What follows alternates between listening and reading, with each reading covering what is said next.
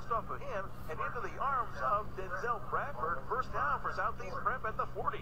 That's the reason why, as a coach, you tell your players to hustle on every play because you never know how the ball's going to bounce. You know, that ball's shaped funny and it bounces different ways. And that's probably the highlight of that young man's career. Get an interception as a defensive lineman. I would like to have seen him run 6'2", 280 pounds.